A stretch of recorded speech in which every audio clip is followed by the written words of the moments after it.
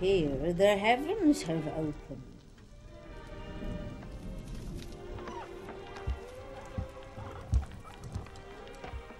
I was hoping to uh, check in.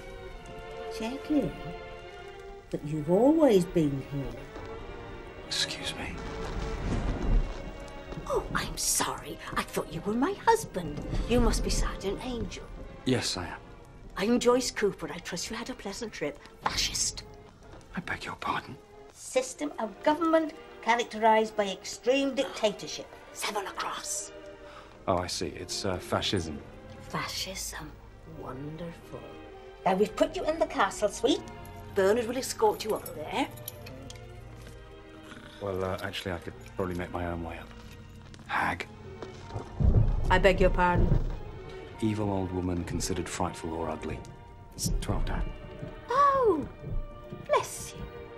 Anyone familiar with England will be aware that there has always existed a minor tension between the island's rural and urban communities. Now, this is not particularly disruptive, everyone tends to rub along quite well, but the two environments are clearly different, and these differences manifest in the sorts of people you tend to find there. For example, growing up, our view of city folk was that they were cool and independent, but self serving and lacked any sense of community.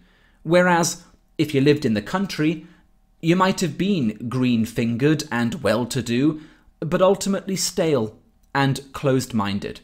Now, these are stereotypes, of course, but I submit there is some truth to them, and in the case of the countryside, this actually makes a lot of sense. I mean, if you live remotely among a relatively small group of people, you're more likely to know them, first of all, you're more likely to share things in common, and you're more likely to have roots in the locality.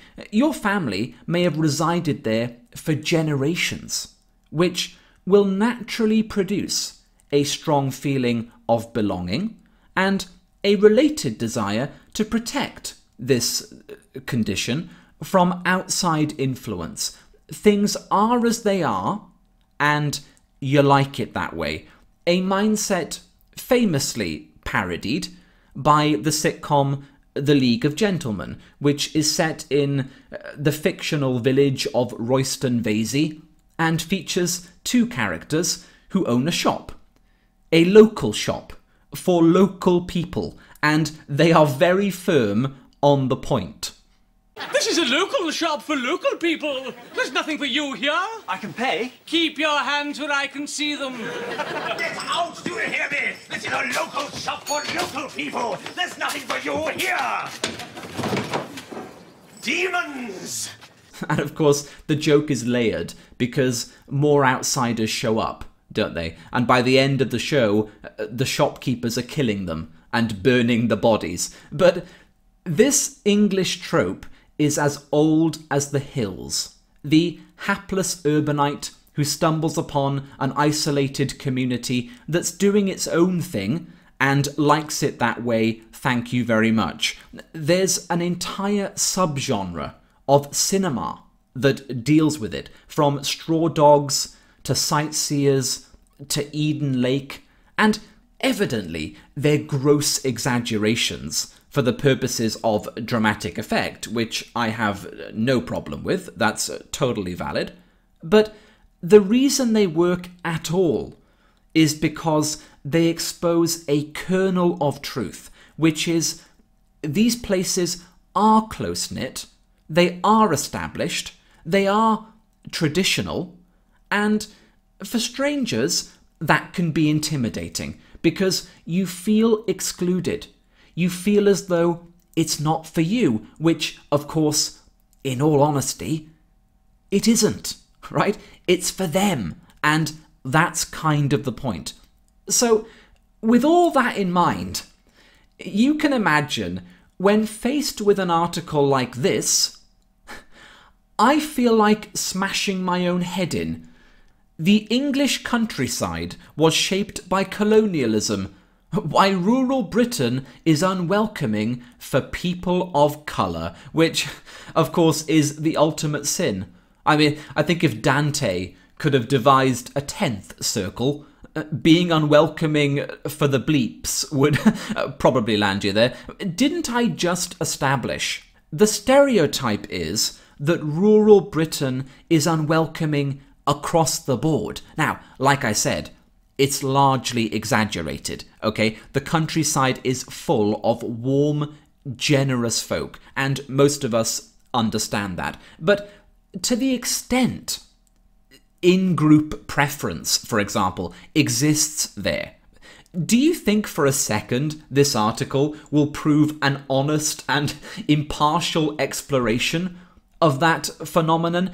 Do you think the author will have the good grace to consider that rural psychology is complex and any trivial suspicion directed at outsiders may result from a genuine love of home, appreciation for what you have, desire to protect it, and that there could be some virtue in that?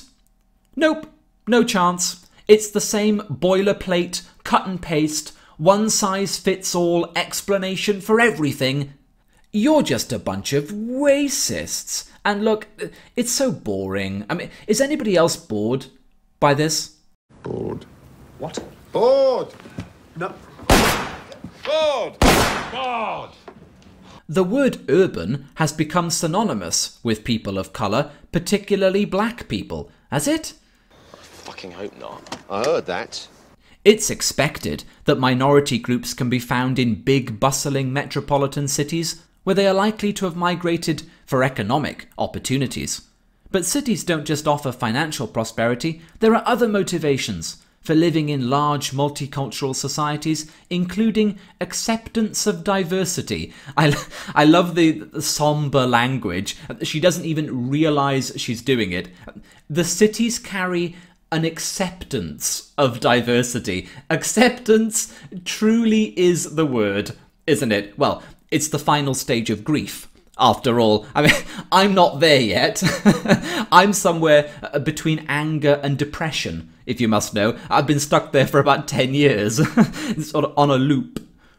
It's not your fault. I know. Rural England is pretty white. Which isn't surprising considering the UK is a majority white country. That should be the end of the article right there. Right. Amazingly, it ain't. Amazingly, this person goes on for what must amount to about 1500 words, right? It's a bloody essay, which I'm not going to read all of because life is too short. But suffice it to say, she's not okay with that, alright? The fact that the UK is a majority white country is the problem. Because wherever you have white people, you have racism, and wherever you have racism, black people suffer. So the solution is get rid of the whites. Get rid of white cities, get rid of white towns, get rid of white statues, get rid of white stuff. Just just fuck off, whites. Okay? That that is OT8 of their particular cult. Okay? It's revealed truth, it's what they all believe, and my question to you is simply this. Are you happy with that? Because I gotta tell you, I'm not happy with that. Sorry? I'm not happy with that. You get extra money if you're worried about that. Don't care. Not bothered. I just, I just don't want to do it. Full stop. Right, okay. According to the Office for National Statistics, in every region of England and Wales, white groups were least likely to live in an urban location, and people from Asian and black ethnic groups were most likely to do so. This may be part of the reason why suburban areas have been reported to be unwelcome for the minorities living in these spaces. Oh, I see! So, you're not concerned with the possibility that urban areas have become unwelcome for the native population, which might explain why white groups are least likely to live there. Oh no, because that would put some responsibility uh, upon the shoulders of the pox, right? Uh, upon upon the POCs, and uh, we can't have that. Uh, didn't you hear? Black people can't be racist. Black people can't be racist. Prejudice, yes, but not racist. Sure, Jan. In 2011, a report from the University of Leicester entitled Rural Racism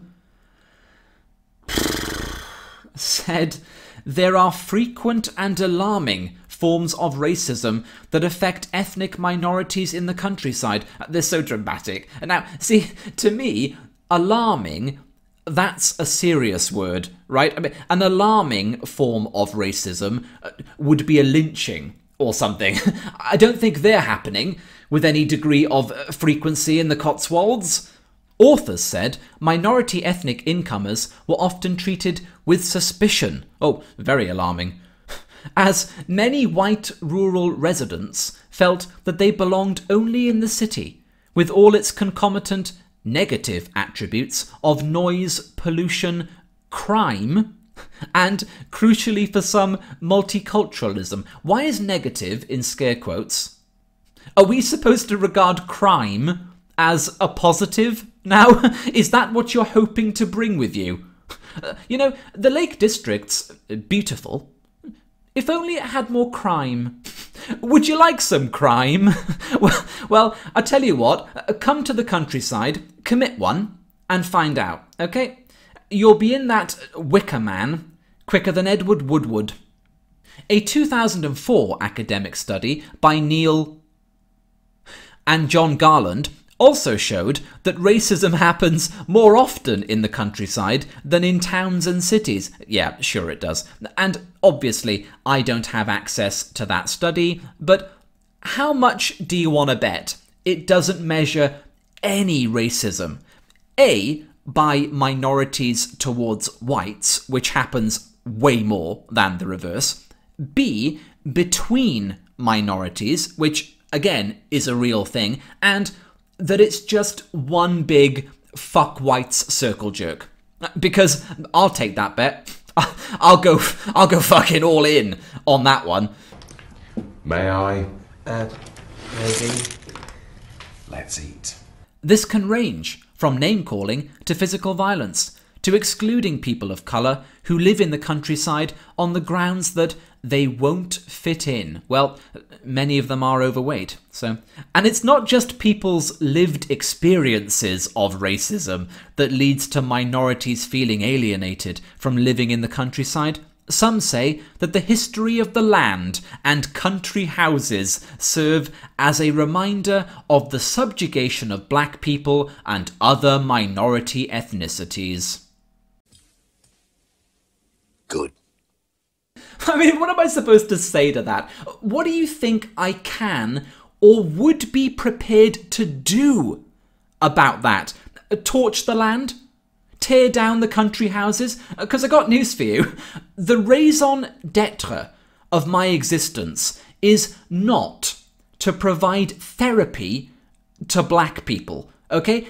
If they, through some bizarre combination of acute narcissism and tribal paranoia see themselves in the long dead victims of the British Empire, that's on them. Or at least it should be. The trouble now, of course, is this psychosis has affected the rest of us. And uh, the bottom line is, we don't deserve it.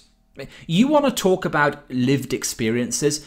There was a couple of minority families that moved into my town when I was a boy, right? And as far as I know, they're still there. we didn't harass them or uh, chase them up to the top of the village windmill like Frankenstein's monster. And with time, they became part of the community. But here's the thing they had to work at that because they were strangers. And unlike in the city, that actually means something in a rural neighbourhood of 5,000. And the fact they look different, sound different, prepare different food, etc., I'm sorry, it's to throw up additional barriers. That's not our fault.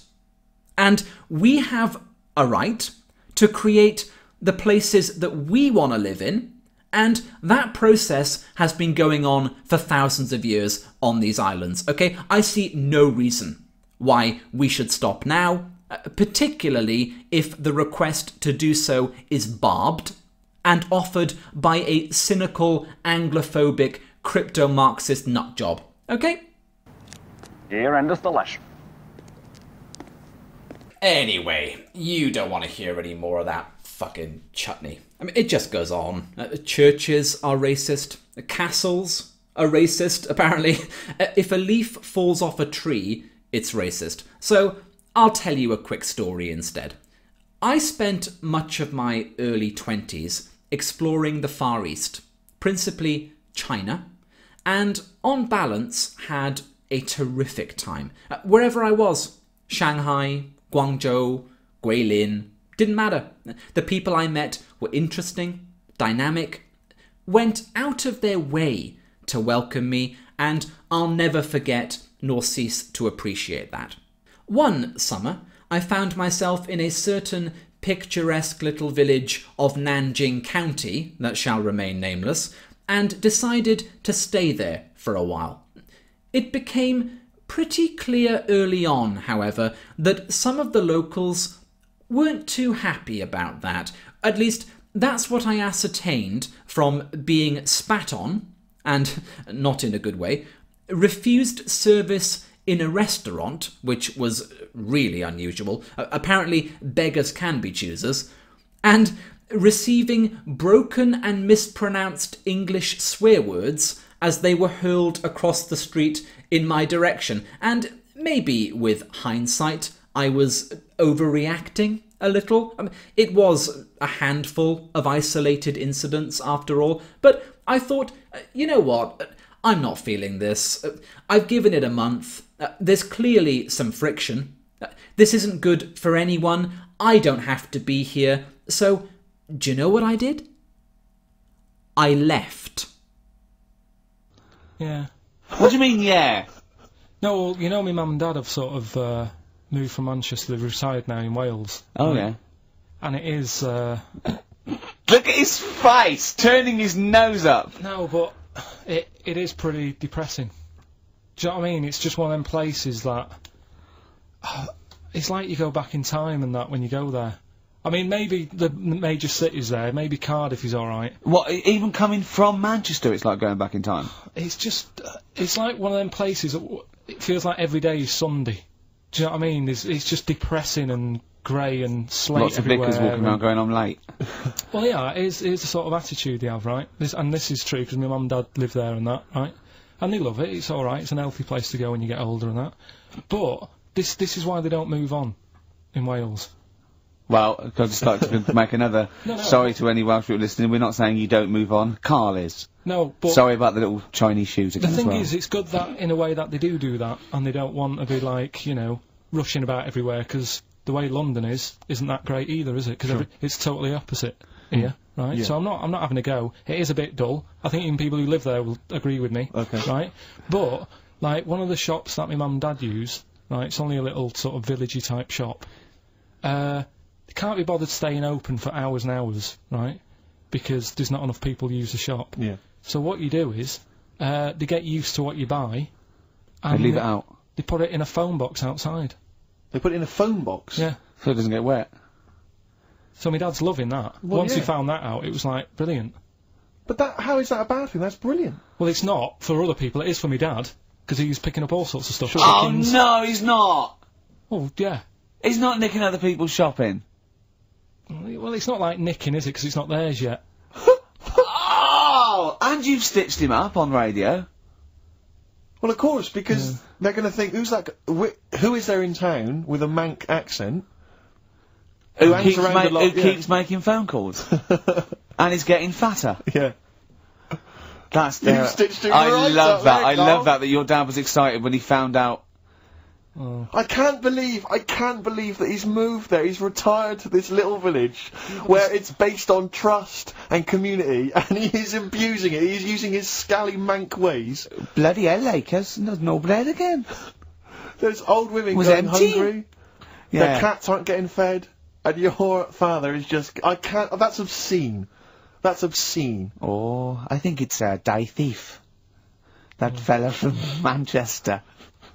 I don't even think they've got Sky there yet, have they? They can't listen. They won't. They won't know what's. I think you stitched him right up. I hope you have, actually. I hope he goes down for it. Right. Well. He's uh, out of the choir.